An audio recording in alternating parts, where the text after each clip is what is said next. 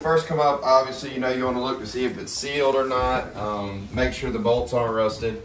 Um, the first thing I do is turn the water off.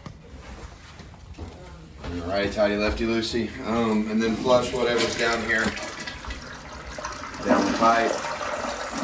Obviously, you're not going to get all the water out. And most of the time, you're probably going to leak some water on the floor. So I'd recommend keeping your wipes close by.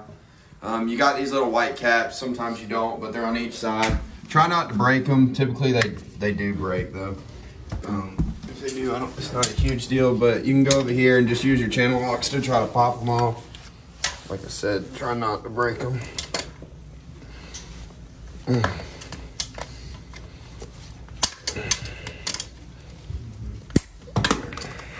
Kristen, do y'all keep towels in your, in your trucks? Yeah, I would always keep a good supply of them right here if you do. Um, so next you'll come around here. There'll be little bolts on the side. I don't know if y'all can see, but they're right there. And uh, just take your channel locks and try to ease them around. Um, you got to be kind of gentle with them. If you clamp down too tight and turn it, it turns the entire bolt itself, and then it never really is gonna come loose. It's-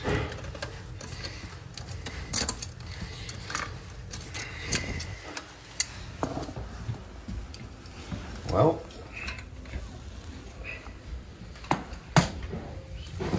whoever put this in, uh, cut the top of the bolts off. So I don't know if these are gonna come on. Then you've been piddling with this while you've been sitting here? Yeah, I know.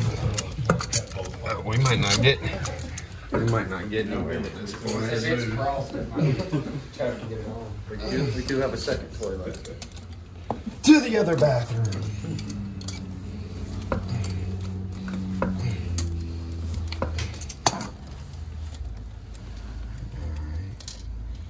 There's that one. Um, you got bad memory, I'd lay out your pieces like this, how you took them off, so you can put them back on the same way.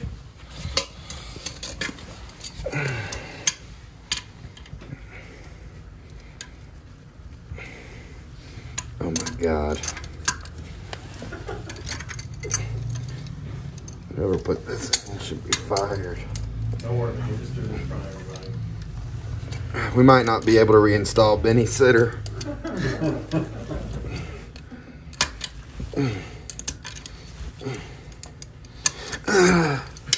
Just, So much for a training video.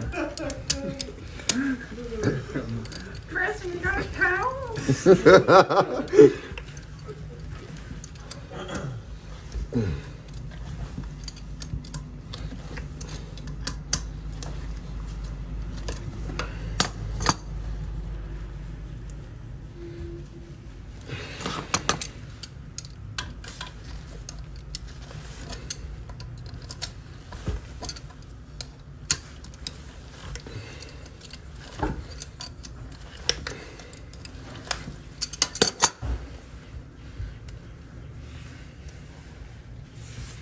all right.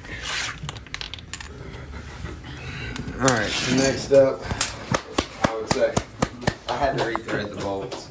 I'd take this off because you're most likely going to break it if you don't set it somewhere where it won't get damaged. Um, and then the next thing, just kind of pull this off as easy as you can. Try to keep those bolts straight. Oh, oh, oh. We missed a step. He didn't disconnect the water line. All right. Always disconnect Yeah, your I water always line. do that. Make sure you turn the water off first. He just wanted to show you what not to do first. All right.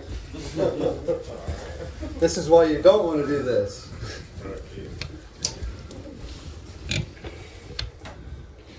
Sometimes, uh, if the valve's rusted as well, I would say it might not be a good idea because I have turned these and then it, it doesn't actually shut off.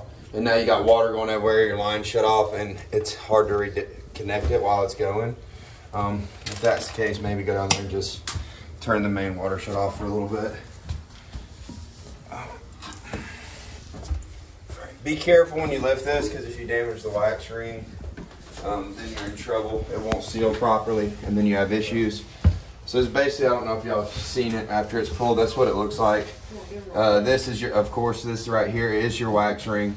Um, these bolts do slide right here.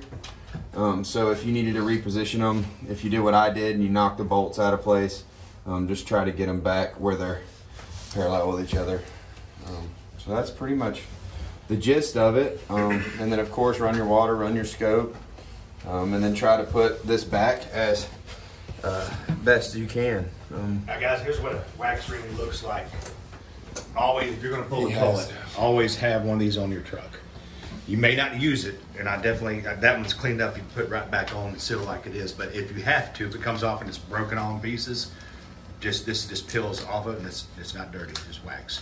So, and then it opens up, as you can see, that's just the other side of it, this peels all off, and you just put that face down, just like that one looks there, and, and then you replace the ring.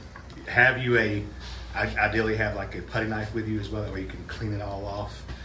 Wear gloves, obviously, but yeah, um, and then just, but most of the time, how many times, Tristan, ninety percent of the time, you don't have to replace the wax ring? I've never messed up a wax ring. Yeah. So just be patient with it. Yeah. Take your So, time. Never. So, but I always have one these. These are three bucks. Have them in the car. I got a little five gallon bucket. Uh, just get your five gallon bucket, put all your tools in it, all everything related to pulling the toilet. That way you got everything. If there. you do mess it up, don't say anything. Just put the- no, just seal the base. No. Yeah. A little bit of coffee. All right. Um, the bet. I, I mean, common sense, but the best way to do this without messing up is kind of just stay center when you're getting it, and then just sit over the top. Like, So you always got a nice 45 degree here in the thigh. I'm well. I'm just saying. I might go to grab Our coach it. always told you to hit parallel. How much you squatted? Yeah. Uh, your coach obviously never installed I toilets. swear. 45.